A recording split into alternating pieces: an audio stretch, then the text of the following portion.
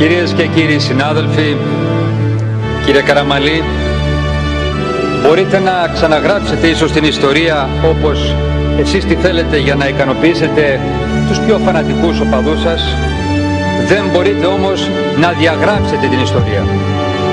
Μόνο στα τελευταία 20 χρόνια μπορούμε να μιλήσουμε για ένα ευνομούμενο κράτος με πραγματική δημοκρατία σε αυτά τα 20 χρόνια, με εξαίρεση τα τρία χρόνια της δικιάς σας κυβέρνησης, η Ελλάδα έκανε πολλά σημαντικά βήματα σύγκλησης προς άλλες χώρες Ευρωπαϊκής Ένωσης.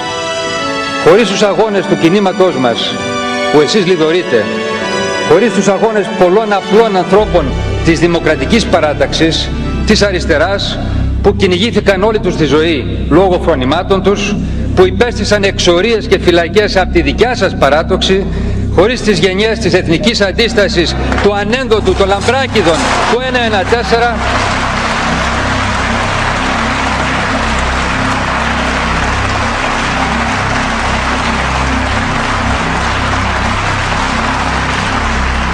χωρίς την αυτοθυσία και παρουσία ανθρώπων σαν τη Μελίνα Μερκούρη, το Γιάννη Αλευρά, το Γιώργο Γεννηματά, το Σάκη Παπονή, το Γιάννη Χαραλαμπόπουλο, το σημερινό πρόεδρο της Δημοκρατίας Κάρολο Παπούλια, τον Κώστα Σιμίτη, τον Γεώργιο αλλά και τον Ανδρέα Παπανδρέου.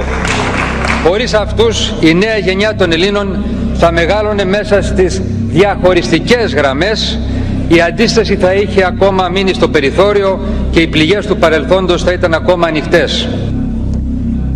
Αυτό ήταν το χθες κύριε Καραμαλή.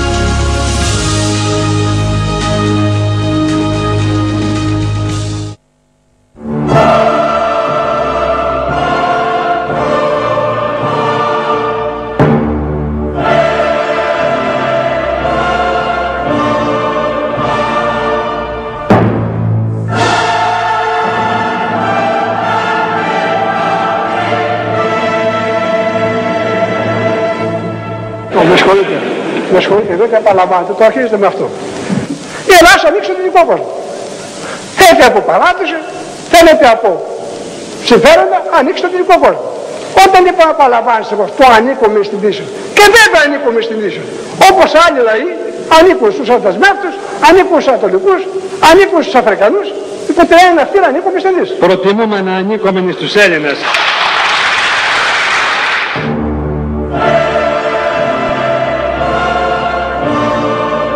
Θέλω να σας διαβεβαιώσω ότι θα μείνουμε στις επάλξεις αυτού του αγώνα για τη Νέα Ελλάδα που όλοι προσδοκούμε.